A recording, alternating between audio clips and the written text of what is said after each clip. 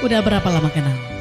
Aku udah kenal sejak 2021. 2021. Ya, pertama pertama kenalnya itu di kantor pajak di Made Palembang. Wih.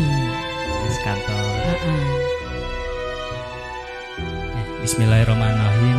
Atas izin Allah Subhanahu wa taala, dengan ini saya meminta restu Bapak Edi Iswan dan Ibu Heni Hernawati. Saya meminta izin untuk menggantikan peran Bapak dan Ibu untuk menjaga dan membahagiakan Arinda Wita Hedila. Sekarang iz- izinkan kita untuk membuat kisah baru dengan aku dan kamu sebagai pemeran utamanya. Teruntuk Arinda Wita Hedila, maukah kau menjadi bagian dari kisah hidupku dan menjadi calon istriku? Boleh kita hitung? Tiga, dua, satu. Benar? Bismillahirrahmanirrahim.